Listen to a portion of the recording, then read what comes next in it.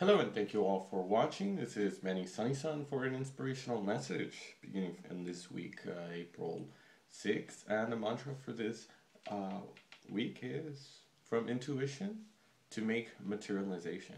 Today the Sun is in Aries conjunct Uranus, the awakener of consciousness. It is possible to feel power and inhabited by an intense call to free, to dare to part with old operating diagrams. Uranus, of course, is often associated with the energy that is about deconstruction or on reality. He just shakes us up from our core.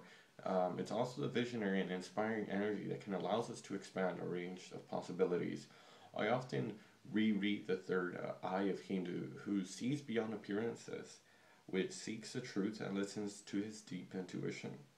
Of course, this raves down wisdom in the heart and then acts conscientiously.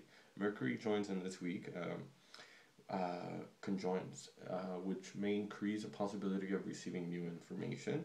Ideas, projects can be fusing together to start new adventures, travel unknown paths. The most negative side of this energy is that it relates, it accelerates us. The nervous system is very active. The impression is that we are uh, stressed, agitated.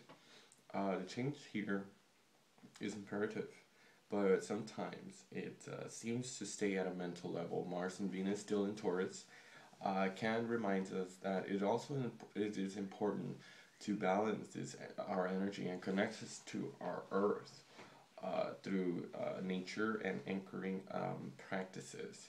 It can also help us to realize these ideas and do not let uh, fuzzier, just as uh, immaterial energies that revolve above our heads but lower in the body, embody them, feel them on, use them, and, and enact the actions accordingly. For some, it is very easy to do.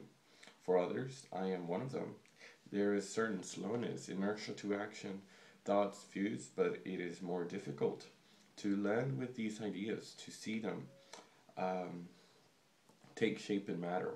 Uh, there are often unconscious resistance that prevents us from direct this energy out, and the arrow of Mars is uh, is that of the masculine energy warrior that allows us to take action, turn against us, often through self-sabotaging, self self-criticism.